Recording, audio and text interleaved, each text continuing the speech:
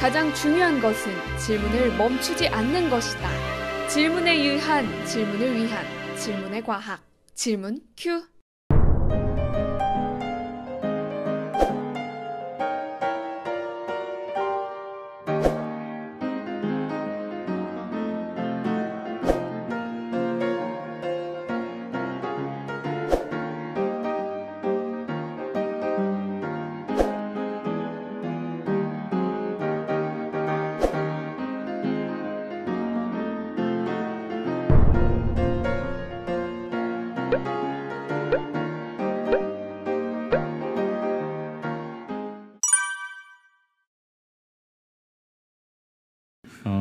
그거는 그, 그 쉽게 설명을 하면요 그, 그 향기라고 하는 것도 일종의 화학 물질이거든요. 그 화학 물질을 인지하는 그 특별한 종류의 항체가 있습니다. 그래서 그 항체가 우리가 히, 히스타민이라고 부르는 그, 염, 그 알레르기를 유도하는 물질의 그 한국말로 제가 정확히 보는데 마스트 셀이라고 하는 그런 특별한 세포의 존재 달라붙어 있거든요. 그래서 그 어, 화학 물질이 우리 몸 안에 들어오면 어, 얘는 그러니까 우리가 굉장히 어, 큰 일이 벌어졌다고 생각하고 그걸 이렇게 바깥으로 배출하려는 걸 하, 하게 되는 게 저희가 재채기를 한다든지 콧물이 나와서 몸 안으로 들어오지 못하게 한다든지 하는 것들을 하게 되는 겁니다. 원래는 좋은 기능을 했던 건데 어, 좀 지금은 사람들을 힘들게 하고 있는 거라고 말씀드리겠습니다. 그러면 특별히 세포 막 자체의 문제라기보다는 그 히스타민이라고 하는 예, 그러니까 항체. 정확하게는 그 항체가 달라붙어 있는 거는 저희가 그 항체의 를 인지하는 수용체가 막단백질에 있고 그 수용체가 그 세포 안으로 말씀드렸듯이 그 스네어 컴플렉스를 이용해서 히스타민을 분비해라라는 그런 어, 신호를 주는 것이죠. 그러니까 그 면역계에 그 알레르기가 있으신 분들은 그냥 좀 너무 간략화된 설명일 수도 있는데 그 그런 어떤 특정한 물질을 어, 그 면역계가 인식하는 막단백질을 만들게 됐다 이렇게 생각하시면 될 것 같습니다. 그래서 어떤 분은 이제 그런 막단백질이 없으니까 그게 피 속에 예를 들어서 아, 혹은 뭐 어디에 지나가도 면역계가 반응을 안 하는데 이제 면역계가 그거에 반응을 하게 되는 이제 그런 안테나를 만들게 된 것입니다. 이제 그래서 이제 그 면역계가 반응을 시작한 거죠 이제. 어, 세포 벽과 벽 사이에 이렇게 구멍 같은 게 있는 걸로 알고 있습니다. 그래서 이제 그거를 통과를 해서 물질들이 들어오고 이제 세포 세포 벽이 있고 그다음에 이제 세포막이 있고 그다음에 세포막을 통과를 할 때는 이런 다양한 막 단백질이 수송에 관여를 하고요. 세포벽이 약간 구멍이 숭숭 약간 뚫려 있는 그런 벽이라고 보는 게 맞을까요? 아, 숭숭 뚫려 있는 건 아니고 이렇게 네. 가끔 뚫려 있는 그걸 네. 통해서 왔다 갔다 네. 하는 걸로요. 예. 네, 그러니까 그거는 그 최근에 그 어, 그 정밀의학이라고 하는 그 용어를 어, 아마 그 가지고 서칭을 해보시면 굉장히 많이 나오고 있는 그런 주제입니다. 그래서 정확한 답변은 적어도 암세포 하나 하나 하나는 다 다를 가능성이 있고요. 그리고 그 암세포가 비슷한 암세포들이 어, 일종의 군락을 이루고 있다고 생각을 하고 있습니다. 그래서 지금은 어떤 치료제 어, 전략을 쓰려고 하냐면 그 예를 들면 그 군락의 특성이 그러니까 간의 간 암세포하고 폐 암세포가 같을 수가 있습니다. 그러면 그 약제는 간암에도 쓸 수 있고 폐암에도 쓸 수 있습니다. 대표적인 게 그 저희가 헐셉틴이라고 하는 유방암 치료제인데요. 그러니까 저희 병원의 방영주 교수님께서 알아낸 게 그 헐2라고 하는 단백질이 암, 아, 위암의 15% 환자한테 예, 과발현이 돼 있습니다. 그래서 그 유방암 약품을 어, 위암에 써봤거든요. 그랬더니 효과가 나옵니다. 예를 들면 이런 거가 이제 시작이 되고 있다고 생각하시면 될 것 같습니다. 아마 제가 먼저 답변을 드려야 될 것 같은데 그 제가 볼 때는 굉장히 중요한 질문을 하신 거고요. 그러니까 저희가 알고 있는 굉장히 재미있는 사실은 그 세포막에 있는 수용체에 결합한 다음에 세포 안쪽으로 그 신호를 전달하는 방법은 생각보다 복잡, 복잡하지 않고요.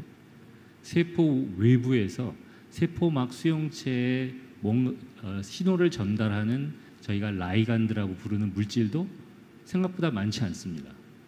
그런데 우리가 그 적은 신호 전달을 가지고 이렇게 복잡한 현상을 유지할 수 있는 이유는 저희가 굉장히 다양한 종류의 세포를 가지고 있기 때문입니다.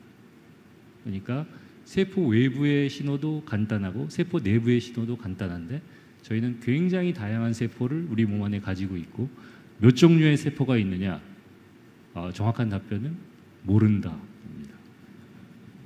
그리고 세포의 사이즈도 좀 많이 틀린 편인데 이제 뇌 세포 같은 경우는 이제 그 이제 세포 body가 있고 이제 꼬리 같이 이게 긴 axon이 있는데 그 axon의 사이즈가 뭐 1m까지도 될 수 있다고 세포 해서- 하나의 꼬리 네, 그래서 그 이제 tissue에 따라서 그러니까 사이즈나 그런 모양들이 많이 틀린 걸로 어, 틀리 어, 틀립니다. 저도 어, 그 이제 교수님들께서 답변해 주신 건 세포 가 여러 종류가 있다라는 건데요. 그럼 이- 이 그럼 세포들마다 DNA가 다른 거냐? 그렇지 않습니다. 이게 아버지하고 어머니한테서 한 카피씩 받은 DNA가 모든 세포한테 동등하게 들어 있거든요. 근데 거기서 어떻게 이렇게 무수한 세포 종류가 나올 수 있냐면은 그 DNA가 이제 뭐 백과사전이라고 할 수가 있는데요. 우리 몸 안에 모든 정보를 담고 있는데 예를 들어서 어떤 세포 종류는 그래서 여기 여기 여기 여기만을 읽어가지고 자기 를 주로 자기의 그 생활을 꾸려가고 예를 들어서 다른 세포는 어디 어디를 주로 읽어가지고 다른 세포를 이제 꾸며 나가게 됩니다. 그래서 그러니까 이제 각 세포마다 DNA를 읽는 방식이 다르다 이렇게 생각하시면 될 것 같습니다. 네, 그래서 근데 그러면은 이제 그건 누가 결정하는 거냐? 이제 그런 거는 이제 저희가 그 수정란에서 이제 점점 세포가 분화되면서 굉장히 이제 서로 간에 소통을 하면서 결정을 하게 되는 것 같습니다. 그래가지고 이제 너는 눈이 되고 일단 눈 세포로 자기가 결정 지어지게 되면은 그 DNA를 읽는 방식이 달라지게 돼서 다른 세포들과 그래서 이제 눈 세포로 활동을 하게 되고 그래서 시각 세포로 그렇게 되게 되는 것입니다. 정확하게는 헐2라고 하는 단백질은 우리가 원래 가지고 있는 필요한 단백질이고요. 근데 그게 거기에 돌연변이가 생기거나 과발현이 되게 됩니다. 대부분은 돌연변이보다는 과발현이 되기 때문에 그러면 이제 세포 증식이 굉장히 빨라지게 되는 거고 우리가 가지고 있는 세포가 발현할 수 있는 최대 단백질의 숫자는 어, 저희 그 휴먼 지놈 프로젝트라고 하는 저희 그 인, 인간 유전체 프로젝트가 끝났기 때문에 대개 최대 8만 개, 적게는 2만 개 정도의 단백질을 발현할 수 있는 것으로 예측하고 있습니다. 제가 제가 저기 하면은 이 암 치료가 어려운 이유가 현재 에이즈 예를 들어서 에이즈랑 비교해 보면은 에이즈는 이제 거의 그냥 만성 질환이 됐거든요. 예전에는 뭐 한 2, 30년 전에는 에이즈에 걸리면 거의 죽는 거 사형 선고 같았는데 이제 그 암과 달리 에이즈는 이제 거의 만성 질환처럼 됐습니다. 이제 그냥 약을 드시면은 계속 그냥 거의 일상생활을 하실 수가 있거든요. 그 그때 암 치료는 그때도 그렇고 지금도 그렇게 별로 정복이 되지가 못하고 있는 이유가 뭐냐면은 그래서 바이러스 치료는 바이러스가 쓰는 단백질들이 사람이 쓰는 단백질하고 다르거든요. 그래서 약을 잘 개발해 가지고 고농도로 쳐 가지고 그 단백질들만 이렇게 틀어 막게 되면은 바이러스가 잘 활동을 못 하게 되는데 암이라는 것이 쓰는 단백질들은 실제 사람이 원래 저희가 쓰는 단백질하고 동일한 단백질을 쓰는데 이걸 교묘하게 이렇게 바꿔서 쓰는 거거든요.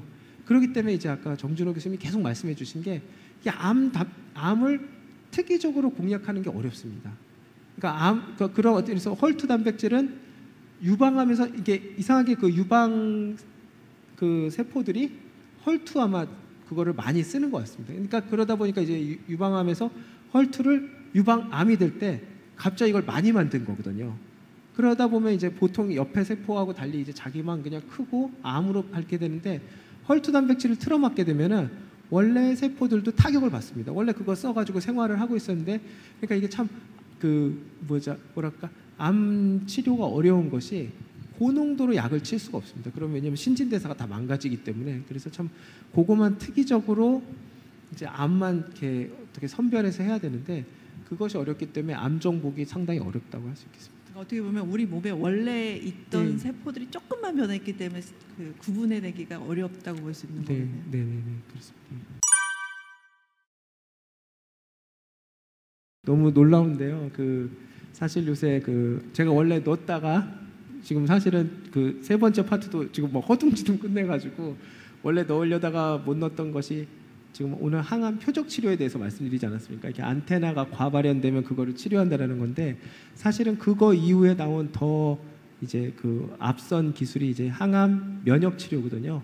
근데 면역 치료의 선봉에 서 있는 게 그 T 세포를 엔지니어링 하는 건데 그거의 전문가가 정준호 교수님이시기 때문에 정준호 교수님께서 그러니까 최근에 그 나와 있는 그걸 아마 그 CAR-T라고 하는 거죠. 그 Chimeric Antigen 아, 치료제인데요. 그래서 어떤 거냐면 우리 몸 안에 있는 면역 세포를 뽑은 다음에 거기다가 저희가 아, 인공적인 수- 그막 단백질을 심습니다. 그래서 그막 단백질의 외부는 그 아까 예를 들면 HER2라고 하는 그런 암 특이적인 그 항원에 결합할 수 있는 그 항체를 심고 이 막단백질의 아래쪽은 그 통상적인 우리 그 세포 신호 전달에 해당되는 그런 단백질 파트를 심게 되죠.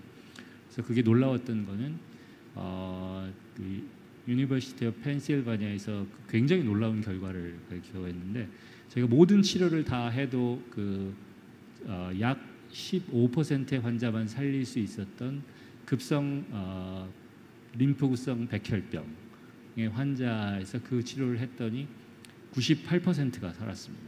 그래서 그거는 어, 점진적인 발전이 아니고 혁명적 발전이거든요. 그래서 실제적으로 그 다음에 그 미국에 있는 굉장히 많은 기업들, 그다음에 벤처 투자가들이 그 부분에 집중적인 투자를 하고 있기 때문에 곧 그 부분은 굉장히 그 혁신적인 발전이 될 거라고 생각을 하고 있습니다.